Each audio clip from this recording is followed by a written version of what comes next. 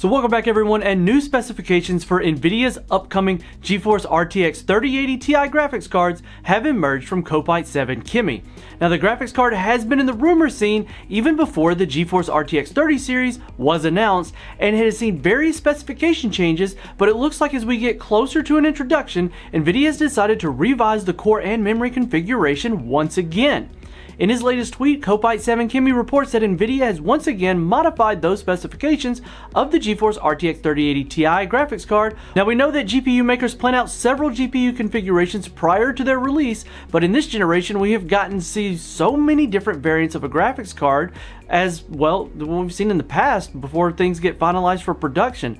Now this allegedly has to do with GPU yields, production, and stock. And the latest specifications, while a small downgrade core-wise, will still net an almost similar performance gain as the RTX 3090. Now GeForce RTX 3080 Ti or the RTX 3080 20GB FE Founders Edition graphics card is expected to feature the PG 133-SKU 15 PCB designed on the GA102-250 KDA1 graphics card. Now the GA102-250 GPU has also changed since the last time we saw them and will now feature an expected 10,240 CUDA cores with a total of 80 SM units. Now since the main core configuration is entirely brand new, the previous leaks, clocks, and TMU ROP counts should now be dismissed. As for the memory, the card will feature a 12GB buffer of GDDR6X. Now, unlike the 19.5GB per second speed of the RTX 3090, the GeForce RTX 3080 Ti is set to retain the same memory speed as the RTX 3080 at 19GB per second.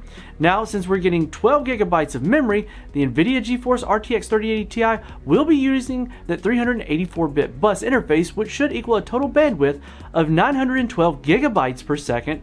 So, while we see an 8 gigabyte VRAM reduction over the previous spec, the larger bus interface should drive higher memory bandwidth.